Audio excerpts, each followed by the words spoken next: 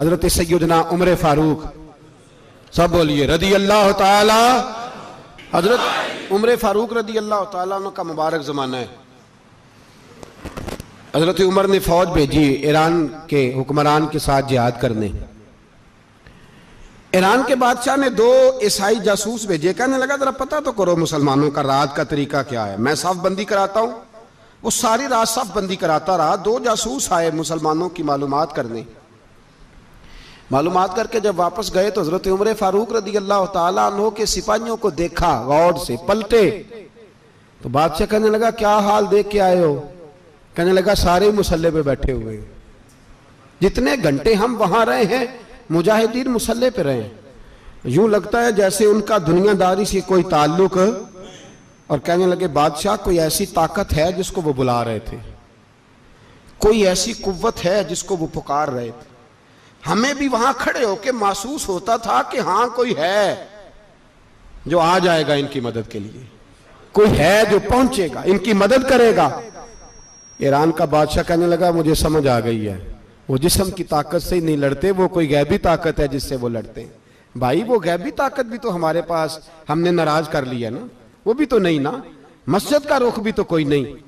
और मैंने पिछले जुमे भी कहा था, फिर कहता हूँ, वाहन हो गया उम्मत को। नबी पाक ने फरमाया, उम्मत को, वो क्या है? दुनिया से मोहब्बत हो गई है, मौत से कराहत हो गई वाहन है। सियाबई कराम को मौत से बड़ा प्यार था। मौत से बड़ी मोहब्बत कर। हमारी तरह नहीं, वो कहते थे, मरेंगे तो मनो मट्टी तो वहाँ ठीक है आजाब कबर हक है। लेकिन मैं कहा करता हूँ, सालों के बाद जो परदेश से माँ के पास आए, माँ उसे अजाब नहीं देती, उसका माथा चूमा करती है। और भाई जो रब करीम की बारगाह में जाएगा, तेरा क्या ख्याल है? गल सड़ जाएगा। मदीने वाले हबीब ने फरमाया, कबरुल मोमिन रोजा तुम मिर रियाजल जन्ना। फरमाया, मेरा मोमिन जब कब्र में जाता है तो अल्लाह जन्नत के सारे दरवाजे खोल देता है। वो तो अल्लाह की रहमत में पहुँचता है। कौन कहता है, मोमिन मर गए? वो तो कैद से छूटे अपने घर गए। कौन कहता है, कब्र में अजाब है तो सिर्फ़ अजाब ही है।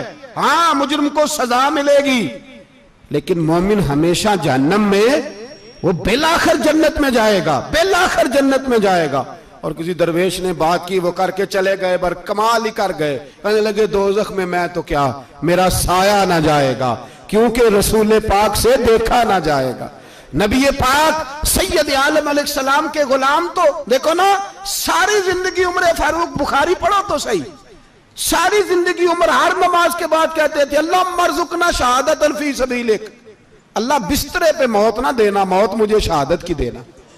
हज़रत सैदना मौला अली शेर खुदा करम, अल्लाह तजोल करीम सारी ज़िंदगी कहते रहे, अल्लाह, अली ने मैदान में उम्र गुजारी है, इसे शहादत की मौत अता फरमा। ओ भाई, ये तो शहादतें मांगने वाले हज़रत इमाम हुसैन मैदान करबला में खड़े थे, शिमर कहने लगा, हुसैन, तेरी चारों जानी मौत है। तो आप फरमाने लगे, तुझे अभी हमारा पता ही नहीं। मौत से तो हमारा प्यार चलता है। और फरमाया, ये शहादत तो हमारा पीछा करती है। पहुँच जाती है जहाँ हम होते हैं? मौत से डरा रहा है। मुसलमान का मरने को दिल नहीं करता, वरना वो इतनी बड़ी कोठी में कौन रहेगा? मरने को दिल इसलिए नहीं करता कि वो जो छह करोड़, दस करोड़ डॉलर लूट के रखे मर गए तो खाएगा कौन? वो फकीर फाका मस्त थे, उनका ही कोई नहीं था।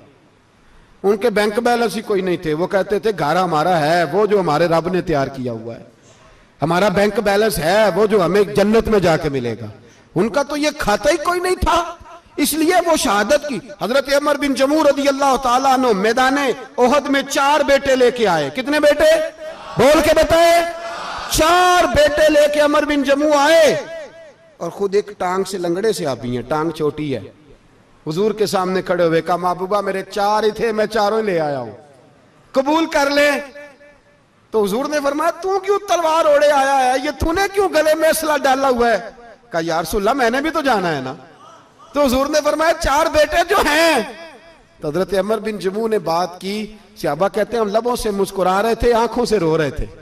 क्या अजीब अंदाज है? हुजूर ने फरमाया, अमर, चार बेटे जो आ गए तो तू रहने दे तो हज़रत उमर रो पड़े, कहने लगे, महबूबा, क्या लंगड़े जन्नत में नहीं जाएँगे? क्या हुजूर, मैं लंगड़ा हूँ तो मेरे लिए जन्नत कोई नहीं? मेरे हबीब पाक सैयद आलम वसल्लम ने फरमाया, अमर तो ज़रूर जन्नत में जाएगा। कहा, महबूबा, फिर बच्चे बाद में जाएँगे, मैं पहले मैदान में जाऊँगा।